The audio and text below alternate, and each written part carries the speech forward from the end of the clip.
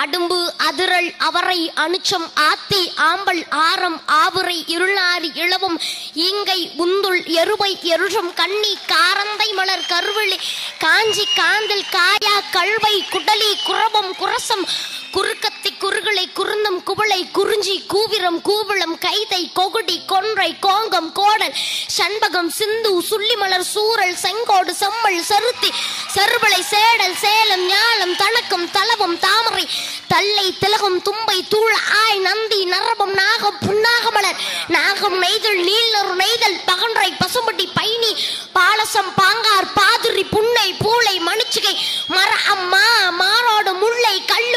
கல்லுவர் முல்லை மவ்வள் பகுளம் வஞ்சி வடபணம் வளைமரம் வெச்சி வேங்கை வேறு. வாணி இந்த மலர்களை எல்லாம் எடுத்து எனது பாட்டன் முருகனுக்கும் எனது குல சாமிகளுக்கும் மா வீரர்களுக்கும் என் மாமா அப்துல் ரஹூப்புக்கும் என் சித்தப்பா முத்துக்குமாருக்கும் என் அத்தை சங்கொடிக்கும் வீர வணக்கம் செலுத்தி என் பெரியப்பா உள்ளிட்ட அப்பாக்களுக்கும் என் பெரியம்மா உள்ளிட்ட அம்மாக்களுக்கும் மாமா சிற்றப்பா மச்சான் உறவுகளுக்கும் இந்த லெமூரிய கண்டத்து வந்தேரி கோத்தகிரி தமிழவனின் வணக்கம். நாம் இன்று இந்து மத கடவுள்களை வணங்கலாம் இஸ்லாமிய கடவுள்களை வணங்கலாம் கிறிஸ்துவ கடவுள்களை சமண கடவுள்களை வணங்கலாம். ஆனால் நாம் இயற்கையை வழிபட்ட முன்னோர்களை வழிபட்ட ஒரு பண்பாட்டு சிறப்பும் பழம்பெருமையும் கொண்ட ஒரு தேசிய இனத்தின் வழி வழி வந்த ஒரு தாய் வயிற்று மக்கள் என்ற சிந்தனை இருந்தால் ஒழிய பாசிசத்தின் வேர்கள் நம் மண்ணில் படராமல் தடுப்பது கடினம். ஒரு தேசிய இனத்தின் ஒரு தாய் வயிற்று மக்கள் என்கிற தெளிவை ஏற்படுத்துவதில் வீர தமிழர் முன்னணி முன்னிற்கும் பெரும்பான்மையான தமிழர்களிடம் இந்த தெளிவும் அதனின் ஆதரவும் இல்லாவிடில் மதவாதம் இந்த மண்ணில் கால் ஊன்றுவதை தடுக்க இயலாது. இனப்பு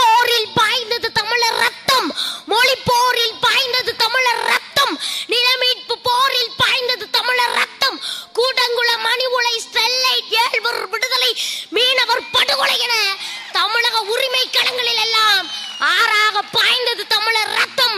ஆனால் தேர்தல் வந்தால் மட்டும் திராவிட ரத்தம் பாயும் அங்கே காவி ரத்தம் பாயும் அங்கே. என்னடா கலர் கலரா ரீல் விடுறீங்களா தமிழகத்திற்கு தேவையில்லாத இரண்டே ஆலயங்கள். அறிவே இல்லாதவங்க கூற அறிவாலயம் ஒரு தாமரையோ மலர்க்காத கமலாலயோ? ஒண்ணு தமிழனுக்கு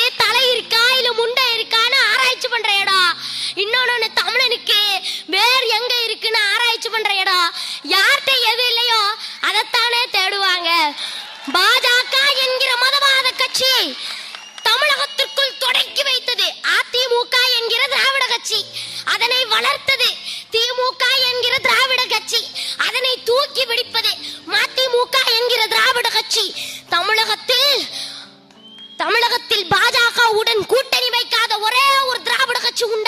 என்றால் கிடையாது. மதவாதத்தை வேறறுக்க திராவிட கட்சிகளுடன் கூட்டணி வைத்தால் நாம் நற்றாட்டில் நிற்க வேண்டும் என்பதை ஆயிரத்தி தொள்ளாயிரத்தி தொண்ணூத்தி எட்டில் இதே கோவை மண் நமக்கு உணர்த்தியது. ஒரு திராவிட தலைவர் சொல்றாரு திராவிடன்னு சொன்னா ஆரியன் உள்ள வர மாட்டாங்கடே முப்பது வருஷமா முப்பது வருஷமா ஒரு கட்சிக்கு தலைவரா இருந்து மூணு முறை முதலமைச்சரா இருந்து செத்து போயிட்டாங்களே ஒரு அம்மையாரு. அவங்க யார் ராசா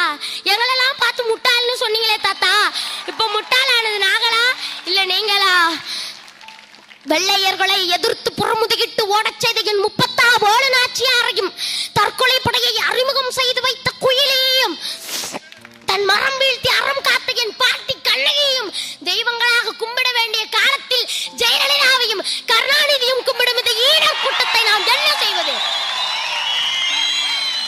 தமிழர்கள் தங்கள் சொந்த மண்ணில் அடிமையாக்கப்படும் நாள் வெகு தொலைவில் இல்லை என்று என் பெரியப்பா சொந்தமலன் சீமானவர்கள் சொன்னது ஆகி கொண்டிருக்கிறது என்பதை நீங்கள் அனைவரும் உணர்வீர்கள்.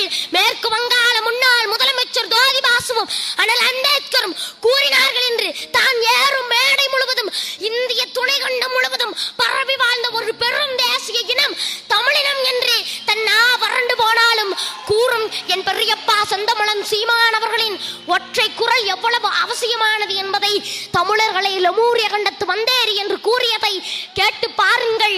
தமிழர்களே அவர்கள் இந்தியை திணித்தால் நாம் தமிழ் கொண்டு எழுவோம்.